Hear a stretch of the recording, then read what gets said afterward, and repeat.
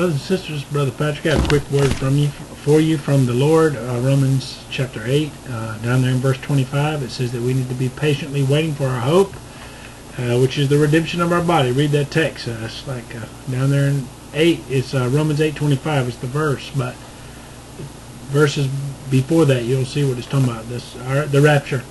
Um, and the Lord said that, you know, to be patient, to be patient, for his reward is with him Behold, he makes all things new, Revelation chapter 22.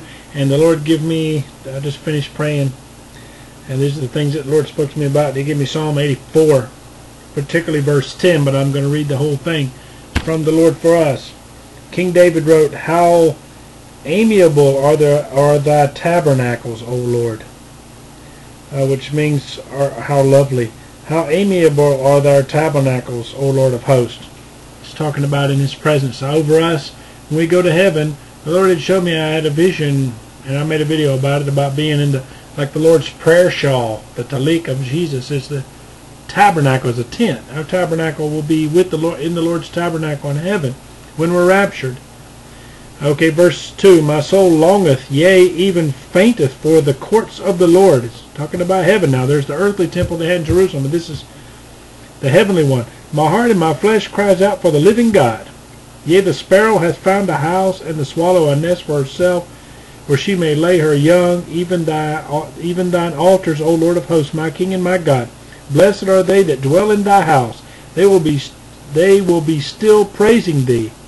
Selah, which means pause. Blessed is the man whose strength is in thee, in whose heart are the ways of them, who passing through the valley of Baca make it a well, the rain also filling the pools.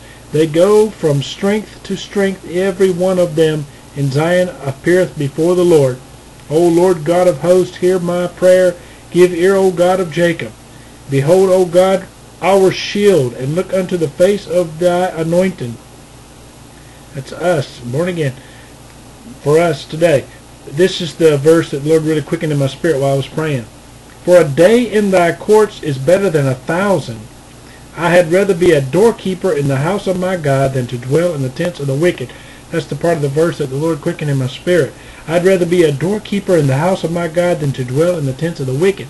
We have to separate ourselves. Hey, tribulation's coming. We don't, we're not going to be with them. We need to separate ourselves. We want to dwell with the Lord. For the Lord God is a sun and a shield. The Lord will give grace and glory. No good thing will he withhold from them that walk uprightly.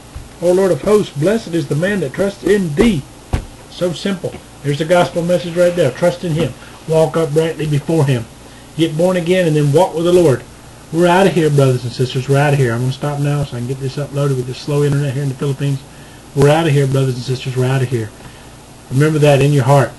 His, we're waiting on His patient, to wait patiently. Romans chapter 8, 25. Then this verse that the Lord gave me here too. I'd rather be a doorkeeper in the house of God than dwell in the tents of the wicked.